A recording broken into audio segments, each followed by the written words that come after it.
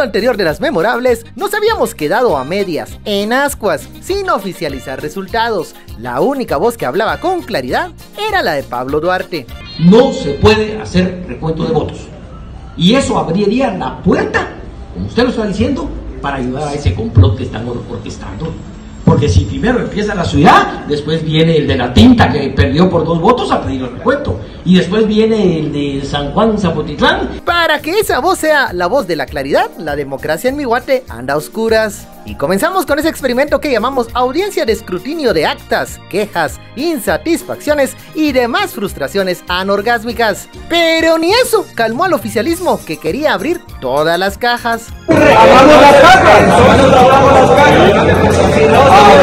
El fiscal y o viceministro de comunicaciones andaba cabreado, y más cuando salieron unas mesas donde sí habían registrado mal algunos votos, pero eran para semilla. ¿Por qué me persigue la desgracia?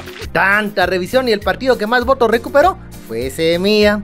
Hasta FCN perdió votos que le habían asignado por error. El tiempo me da la razón.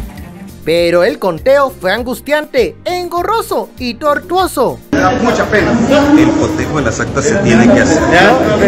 el cotejo de las actas se tiene que hacer.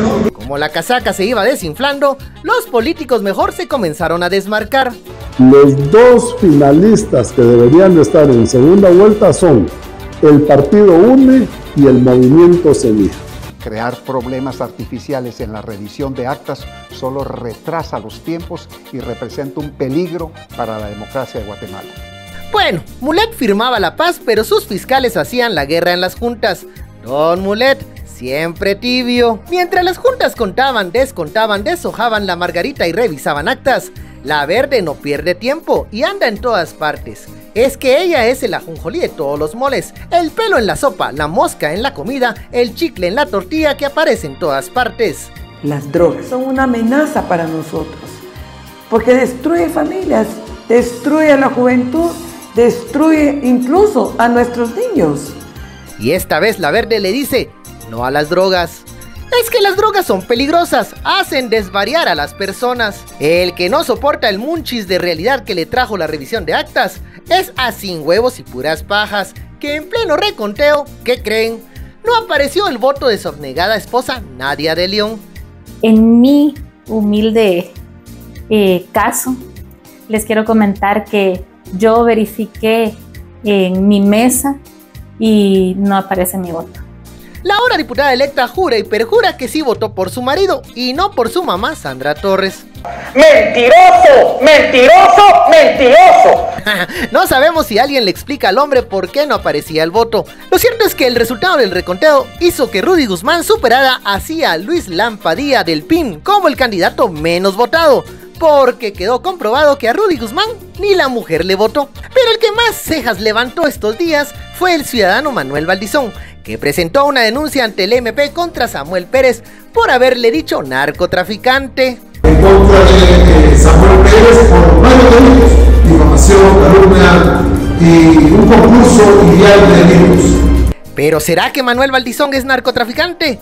Como diría el abuelo Simpson, Valdizón no es narcotraficante. Podrá ser mentiroso, puerco, idiota, comunista, pero nunca una estrella de porno. Valdizón no es narcotraficante, será lavador de dinero, ex convicto, narcotraficante, pero nunca una estrella del porno.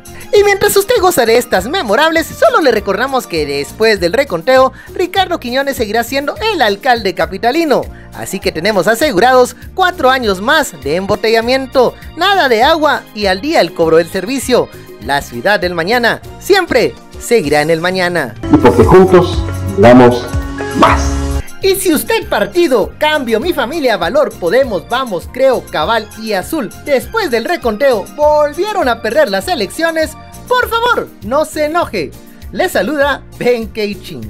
Pídele Dios mío, salva a Guatemala. Y mientras tanto en el Salón del Reino de Cash hay lágrimas por el resultado electoral.